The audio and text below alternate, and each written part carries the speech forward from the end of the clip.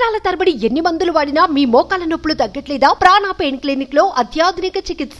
రాష్ట్రంలో డెంగీ విజృంభిస్తోంది. కొన్ని రోజులుగా ఈ కేసులు భారీగా పెరుగుతున్నాయి. అధికారిక లెక్కల ప్రకారం ఈ ఏడాదిలో ఇప్పటి వరకు ఐదు వేల మూడు వందల డెబ్బై రెండు మంది దీని బారిన పడ్డారు. జూన్ నెలాఖరు వరకు వెయ్యి డెబ్బై ఎనిమిది మందికి నిర్ధారణ కాగా గత రెండు నెలలుగా నాలుగు వేల రెండు వందల తొంభై నాలుగు కేసులు నమోదయ్యాయి. డెంగీ నిర్ధారణకు జరుపుతున్న పరీక్షల్లో ఆరు పాయింట్ ఐదు శాతం పాజిటివిటీ ఉంటుంది. ప్రతి రెండు వందల నమూనాల్లో పదమూడు మందికి డెంగీ నిర్ధారణ అవుతోంది.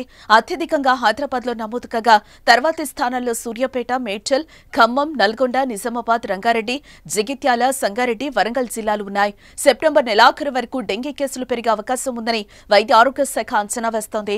ఇక గత ఏడాది ఎనిమిది వేల పదహారు డెంగీ కేసులు నమోదు కాగా ఒకరు మృతి చెందినట్లుగా అధికారిక లెక్కలు చెప్తున్నాయి. ఈ ఏడాది భారీగా కేసులు నమోదైనా డెంగీ మరణాలు లేవని వైద్య ఆరోగ్య శాఖ పేర్కొంటోంది.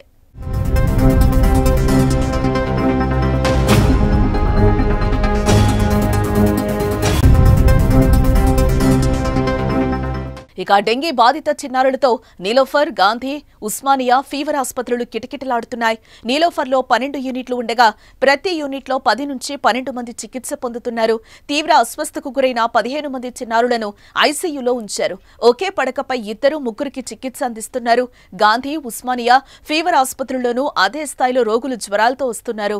బాధితుల్లో ఏడాదిన్నర నుంచి పన్నెండేళ్ళ వయసు పిల్లలుంటున్నారు.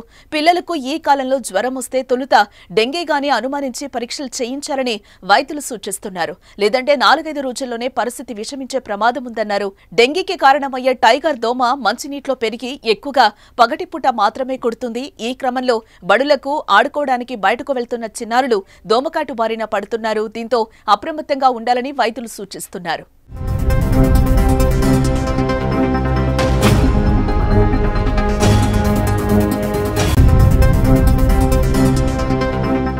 మీ బిజినెస్ ఏదైనా మీ ఊర్లో ప్రమోషన్ చేయాలంటే అది సుమన్ టీవీతోనే సాధ్యం. ఇప్పుడే సంప్రదించండి.